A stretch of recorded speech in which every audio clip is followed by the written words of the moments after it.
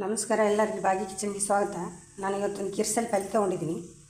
ಇದು ಉತ್ತರ ಕರ್ನಾಟಕದ ಕಡೆ ಭಾಳ ಸ್ಪೆಷಲ್ ಇದನ್ನು ಮಾಡ್ತಾ ಇರ್ತಾರೆ ನಮ್ಮ ಕಡೆ ಎಲ್ಲ.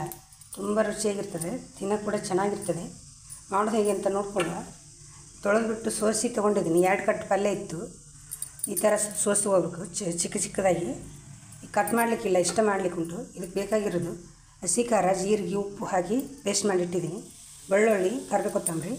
ಇಲ್ಲಿ ಒಂದು ನಾಲ್ಕು ಸ್ಪೂನ್ ಎಣ್ಣೆ ಹಾಕಿಟ್ಟಿದ್ದೀನಿ. ಎಣ್ಣೆ ಬಿಸಿ ಆಗೋದು ಜೀರಿಗೆ ಸಾಸಿವೆ ಹಾಕ್ಕೊಳ್ಳೋ ಈಗ ಸಾಸಿವೆ ಹಾಕ್ಕೊಳ್ಳ ಎಣ್ಣೆ ಕಾದಿದೆ ಈಗ.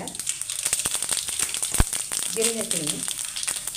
ಬೆಳ್ಳುಳ್ಳಿ ಹಾಕೊಳ್ತೀನಿ ಚೆನ್ನಾಗಿ ಬಾಡಿಸ್ಕೊಂಡು ಸ್ವಲ್ಪ ಫ್ರೈ ಮಾಡಿದೆ ಅದಾದಮೇಲೆ ಹಸಿ ಖಾರ ಹಾಕ್ಕೊಡುವ ರುಬ್ಬಿಟ್ಟು ಅಂತ ಖಾರಕ್ಕೆ ನೋಡಿ ಎಷ್ಟು ಬೇಕು ಅಷ್ಟು ಹಾಕ್ಕೊಳ್ಳಿ ಸ್ವಲ್ಪ ಚೆನ್ನಾಗಿ ಮಿಕ್ಸ್ ಮಾಡೋದು ಫ್ರೈ ಆಗಲಿಲ್ಲ ರುಚಿಗೆ ಎಷ್ಟು ಬೇಕು ಅಷ್ಟು ನೋಡ್ಕೊಂಡು ಉಪ್ಪು ಹಾಕೋಣ.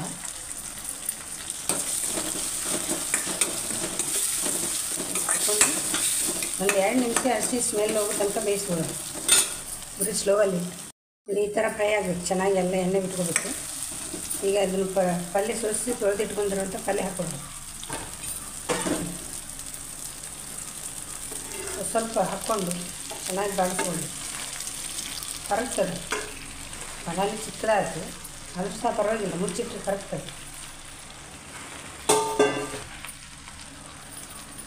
ಈ ಥರ ಮಿಕ್ಸ್ ಮಾಡಿ. ಅದಷ್ಟು ಪಾತ್ರೆ ದೊಡ್ಡದಿದ್ರೆ ಒಳ್ಳೆಯದು ಚಿಕ್ಕದಾಯ್ತು, ನಾನು ತೊಗೊಂಡಿರೋದು.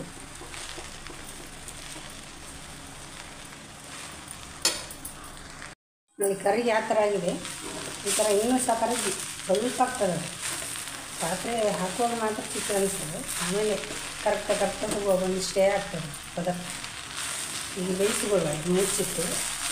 ಮಿಕ್ಸ್ ಮಾಡ್ತಾನೆ ಅಂತ ಚೆನ್ನಾಗಿ ಸಿಮ್ಮಲ್ಲಿಟ್ಟು ಅಷ್ಟು ಇಷ್ಟು ಕರಗಿದಾಗುತ್ತೆ ಚೆನ್ನಾಗಿ ಬಾಡಿಸ್ಕೊಳ್ಬೇಕು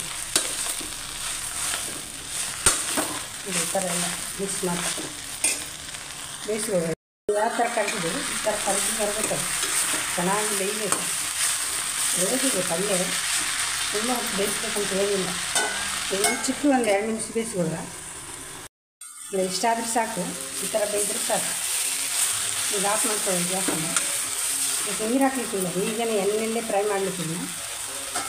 ಮುಚ್ಚಿಟ್ಟು ಆಫ್ ಮಾಡ್ಕೊಂಡ್ಬಿಟ್ಟಿಲ್ಲ ರೆಡಿ ಆಯ್ತು ನಮ್ಮದು ಪಲ್ಯ ರೆಡಿ ಆಗಿದೆ ಈಗ.